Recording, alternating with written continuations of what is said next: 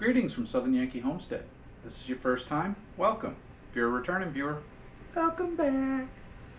Uh, today is going to be a simple video. Uh, it's going to take me two days to do, but very simple regardless. What we're going to be doing is storing a zucchini. Uh, we haven't had very much luck with zucchinis this year, and we typically don't have very much luck with zucchinis. Occasionally we do, but I think the weather in this particular area is too hot we're doing something wrong, but we're going to continue trying. So let's go ahead and uh, get this started. Uh, this is the simplest way we found to store zucchinis long term so that we can use them through the winter. Uh, it's fairly simple. Follow along. You need a knife and a cutting board. What we're going to do, we're going to naturally just take the bottom off.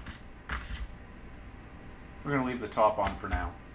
And I'm going to use the, uh, oh wow, yeah. I'm going to use the butt of my knife to basically measure, uh, that's uh, about 3 eighths of an inch chunks. So go here, and we're just going to cut a bunch of 3 eighths of an inch chunks.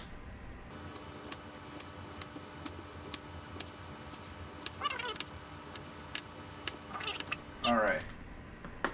At this point, I'm just going to stand these up in little piles and we're going to make these into more manageable pieces. So we're just going to take it, split it in half.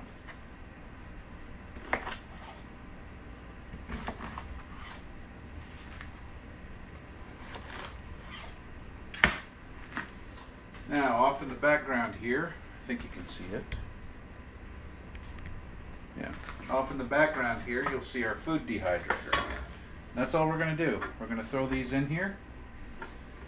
Make sure that they're not touching each other. And then we're going to throw on the throw it on some heat.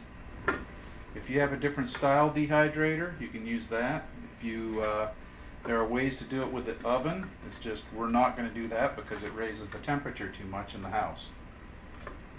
And these are going to shrink down significantly.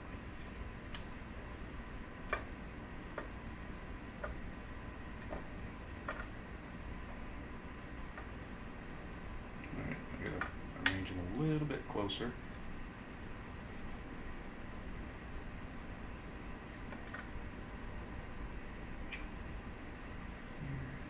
We're gonna put that there. plug this in. Put the lid on. And we'll see you tomorrow.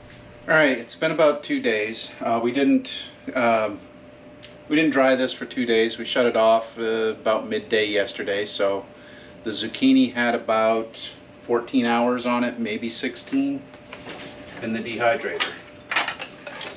And this is what all what a whole zucchini turns into. Now for storage purposes, it's very simple. We're going to take this dried zucchini, drop it all into a jar, and then we're going to vacuum seal it. So let me get this in there, and then we'll continue.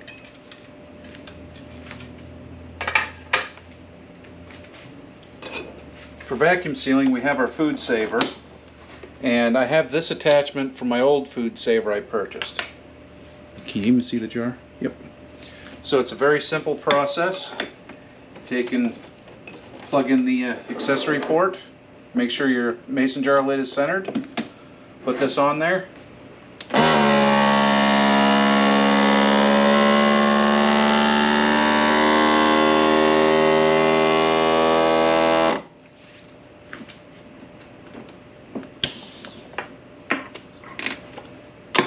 And now, we're all sealed up.